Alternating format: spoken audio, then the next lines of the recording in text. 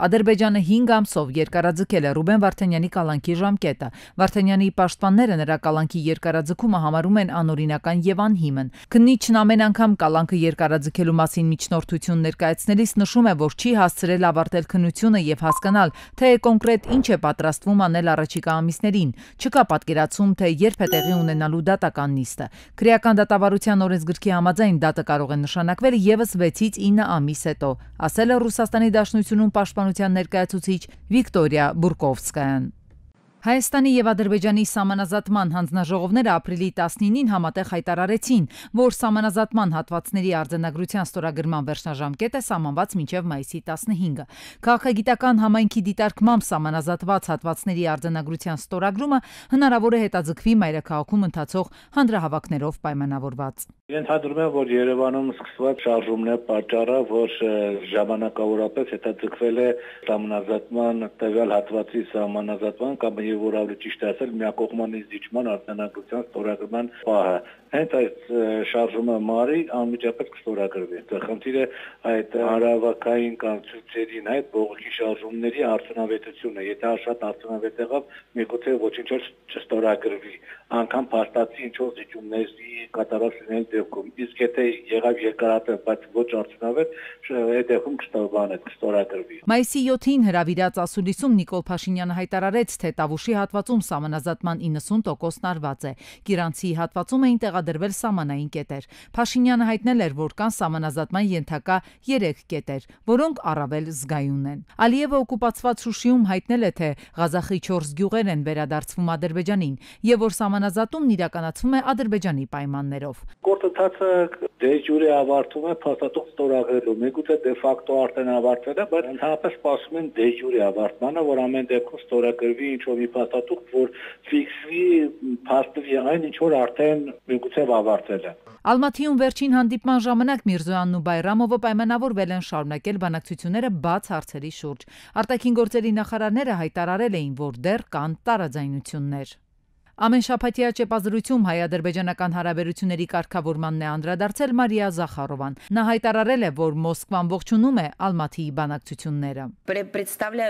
Կարևոր է, որ շփումներն Ալմաթիում ընթանում են Ռուսաստանի Դաշնության, Հայաստանի եւ Ադրբեջանի ղեկավարների երակողմ պայմանավորվածությունների համալիրի հունով, որոնք ճանապարհային քարտեզ են սահմանել հայ-ադրբեջանական կարգավորման գործընթացի համար։ Ռուսաստանի Դաշնության փոխարտգործնախարար Միխայել Գալուզինը եւս անդրադարձել է Ալմատիում Միրզոյան Բայրամով հանդիպմանը։ Գալուզինն էլ հայտնել է, որ Ռուսաստանի, Ադրբեջանի եւ Հայաստանի ղեկավարների որոշմամբ 2021 թվականին ստեղծված Երակողմ աշխատանքային խումբը երեք երկրների փոխվարչապետերի համատեղ համանախագահությամբ ռիթմիկ աշխատանք է կատարել եւ կարողացել է հասնել զգալի արդյունքների։ Փոխնախարարի խոսքով 2023 թվականի հունիսին ձեռք է բերվել ընդհանուր ընկալում Հայաստանի եւ Ադրբեջանի միջև երկաթուղային կապի վերականգնման վերականգնման հարցում։ Գալուզինը հայտնել է, թե այդ գործընթացը կանգ է առել, բայց ոչ Ռուսաստանի մեղքով։ Նրա վստահեցմամբ Երևանն է որոշել սառեցնել փոխգործակցությունը Երակողմ աշխատանքային խմբի մակարդակով։ Ամերիկայի Միացյալ Նահանգները շարունակում է հավատալ, որ խաղաղությունը Հայաստանի եւ Ադրբեջանի միջև հնարավոր է, հայտարարել է ԱՄՆ պետդեպարտամենտի մամուլի քարտուղարի առաջին տեղակալ Վեդանտ Պատելը։ Բանակցությունների ընթացքի մասին տեղեկություններ չունեն, բայց շարունակելու են աջակցել այս գործընթացին։ Մայիսի 14-ին Հայաստանի Հանրապետության զինված ուժերում մեկնարկել է ռազմավարական հրամանատարամասշտաբային հերթական զորավարժությունը։ Այս մասին հայտարարել են Հայաստանի Հանրապետության Պաշտպանության նախարարությունից։ Ռազմավարական հրամանատարամասշտաբային զորավարժության շրջանակում անցկացվելու են մեծականակ մարտավարական եւ մարտավարամասնագիտական վարժանքներ, մարտական հրաձգությամբ, ավտոմատ կառավարման համակարգերի ու արդի տեխնոլոգիաներով հագեցված վարժասարքերի կիրառմամբ։ Արևմուտքը ցանկանում է մարտադաշտում լուծել ուկրաինական հակամարտությունը, եթե ցանկանում է կլինի մարտադաշտում։ Այս մասին հայտնել է Ռուսաստանի Դաշնության արտաքին գործերի նախարարի պաշտոնակատար Սերգեյ Լավրովը Դաշնության խորհրդում, որտեղ տեղի են ունենում պրոֆիլային կոմիտեի խորհրդակցությունները, այդ պաշտոնում նրա վերընտրման վերաբերյալ։ Նա նշել է, որ Ռուսաստանը պատրաստ է բանակցությունների ոչ միայն խոսքով, այլ նաև գործով։ Իսրայելի վարչապետ Բենյամին Նեթանյահուն հարցազրույց է տվել ամերիկացի լրագրող Դեն Սինորին եւ ի թիվս այլ բաների խոսել պատերազմի հաջորդ օրվա մասին։ Նշելով, որ Իսրայելի կառավարությունը քննարկում է ահաբեկչական կազմակերպության առաջնորդներին արտաքսելու հարցը, բայց դա կախված է առաջին հերթին Համասի հանձնումից, ասել է Նեթանյահուն։ Նա հույս է հայտնել, որ պատերազմից հետո Գազայի հատվածը կկառավարեն Համասի հետ կապ չունեցող տեղացիները տարածաշրջանի երկրների հետ։ Կառավարությունը հաստատեց Արցախից բռնի տեղահանված անձանց բնակարանային ապահովման ծրագիրը։ Դրանով 2020 թվականի սեպտեմբերի 27-ից հետո Արցախից բռնի տեղահանված ընտանիքը կհամարվի շահառու, եթե ընտանիքի բոլոր անդամները, այդ թվում անչափահասները, ունեն կամ ստացել են Հայաստանի Հանրապետության քաղաքացիություն։ Կառավարության հաստատված ծրագրով բռնի տեղահանվածները կարող են ձեռք բերել բնակարան կամ անհատական բնակելի տուն, հավաստագիր կտրամադրվի նաև անհատական բնակելի տուն կառուցելու նպատակով կառավարությունը կաջակցի արցախցիներին գործող հիպոթեկային վարկ ունենալու դեպքում։ Ենթադրենք 16 թվին հիպոթեկային վարկով ձեռք է բերել բնակարան Հայաստանի Հանրապետությունում կամ տուն։ Եվ այդ հիպոթեկային վարկը դեռ փակված չէ, ելի մեկ ընտանիքի հաշվով մենք 2 միլիոն դրամի աջակցություն ենք ցուցաբերում եւ ելի ասենք 6 հոգանոց ընտանիքը 12 միլիոն դրամ հիպոթեկային վարկի մարում կստանա։ Հավաստագրերն ունեն տարբեր արժեքներ ընտանիքի մեկ անդամի հաշվով եւ տարբեր բնակավայրերում։ Առաջինը 5 միլիոն դրամ 242 քաղաքային եւ գյուղական բնակավայրերում իրացնելու դեպքում է տրամադրվելու, երկրորդը 4 միլիոն դրամ 148 քաղաքային եւ գյուղական բնակավայրերում իրացնելու դեպքում, 3 միլիոն դրամ մնացած բնակավայրերում, բացի Երևանի առաջին եւ երկրորդ գոտիներից։ Եթե օրինակ ընտանիքը որոշում է, որ 242 քաղաքային եւ գյուղական բնակավայրերի բնակավայրերում է ուզում ունենալ բնակարան, որոնց ցանկը կհրապարակվի, եթե օրինակ այդ 242 բնակավայրում ընդհանրենք 6 հոգանոց ընտանիքը ընդհանրենք գնեց բնակարան 25 միլիոն դրամով ինչ շատ իրատեսական է, կարելի է գյուղական բնակավայրերում կարելի է նաև ավելի էժան գնով բնակարան ձեռք բերել։ Եվ 2 միլիոն դրամ կտրվի այն քաղաքացիներին, ովքեր արդեն ունեն հիպոթեկային վարկ, բացառությամբ եթե Երևանի առաջին եւ երկրորդ գոտում ունեն գույք։ Առաջին փուլում կընդգրկվեն 3 եւ ավել անչափահաս անչափահասով ընտանիքները, անչափահաս երեխա ունեցող ընտանիքները տան կառուցման դեպքում երկու անչափահասներ ունեցող ընտանիքները, երկրորդ փուլում կընդգրկվեն երկու անչափահասով ընտանիքները, տան կառուցման դեպքում մեկ անչափահասով ընտանիքները։ Մեկնարկը ոչ ուշ քան 2026 թվականի հունվարի 1-ը։ Երրորդ փուլում կընդգրկվեն ցանկացած կազմով ընտանիքներ, մեկնարկը ոչ ուշ քան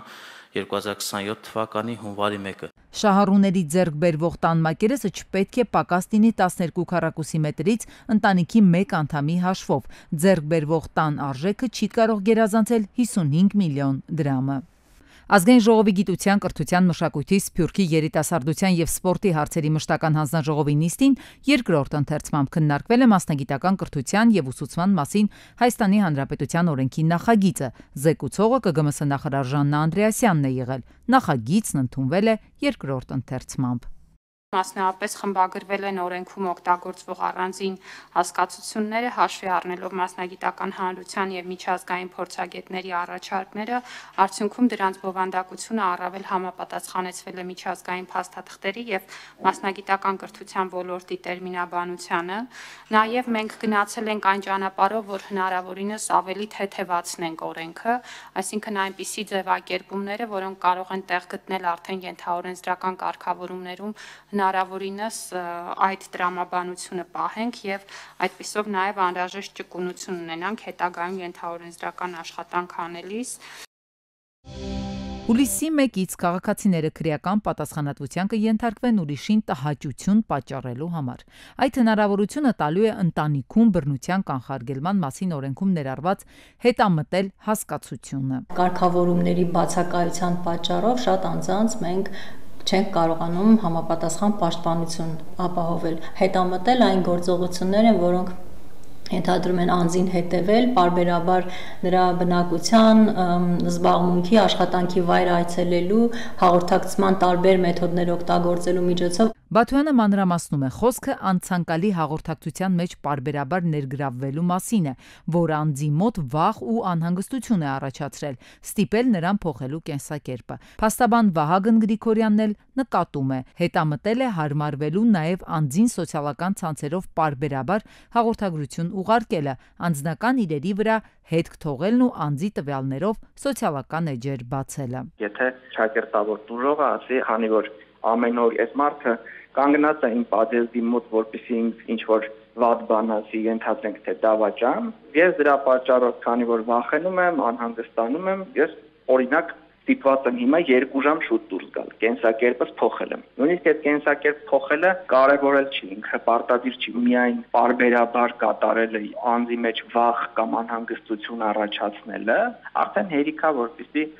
արարքը որակվի որպես հանցագործություն։ Արարքը իրականում վախ կամ անհանգստություն կարող է առաջացնել, թե ոչ, շատ սուբյեկտիվ կարող է լինել, ինչից օգտվելով իրավապահները կարող են նաև կողմնակալ մոտեցում ցուցաբերել, ասում է փաստաբանը։ Ամենևին էլ չի բացառում, որ որոշ անձինք կարող են օգտագործվել օրենքը իրենց ոչ հաճո անձանցից ազատվելու կամ վերջիններիս վնասելու համար։ Սա առաջի հայացքից կթվար, թե միջանձնային հարաբերություններին վերաբերող հարց են ուզում կարգավորեն, բայց ինքը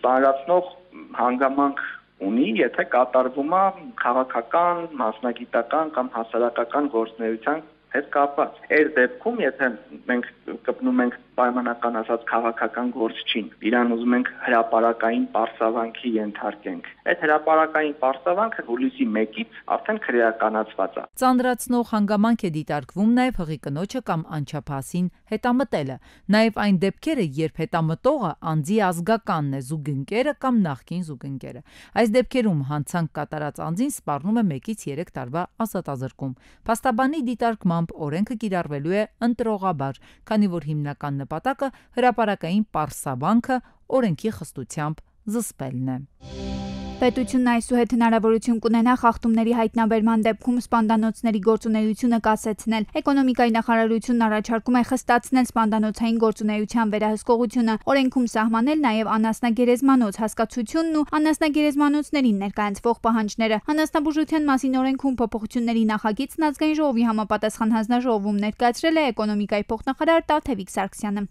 Օրենքում կատարվել է լրացումներ սահմանելով լիազորող նորմեր, որպեսզի հնարավոր լինի մշակել նոր իրավական ակտեր, մասնավորապես Հայաստանի Հանրապետությունում գոմաղբի, թռչնաղբի պահեստավորման, տեղափոխման, վերամշակման, օգտագործման եւ արագազերծման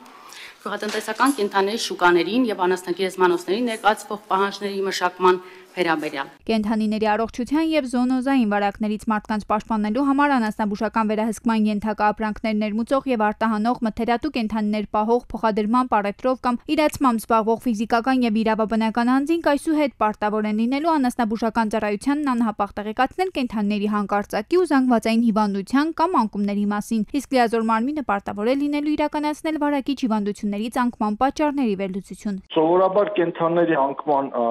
պատճառի հետ կապված կենթանիների ուտիլիզացիան այսպես տեղ ունենում տարբեր կերպ։ Խշշան պալարի դեպքում պարտադիր պիտի կենթանիներին այրեն, նոր թաղեն այրված մնացած զանգվածը, որտեղ կարբոնկուլ կոչվող այդ թարախակույտը 20-30 տարի մնալով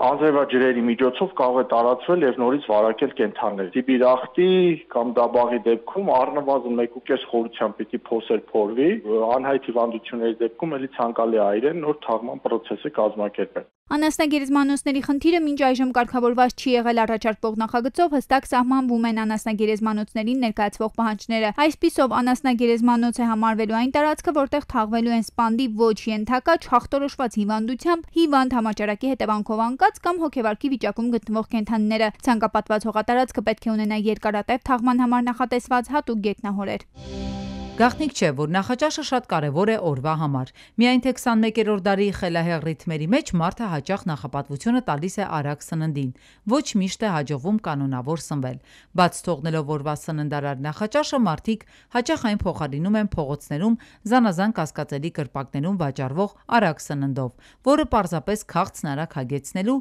եւ ժամանակ խնայելու թվացial միջոց է։ Ես նախընտրում եմ օրվա մեջ օգտագործել ավելի շատ արագ սնունդ, բայց խնայել ժամանակ ավելի կարևոր բաների համար։ Չեմ հասցնում տուն գնամ այդ պահին շտապում եմ ու ստիպված օգտվում եմ արագ սննդից։ Ուտում եմ երբեմն շատ հաճախ կասեի։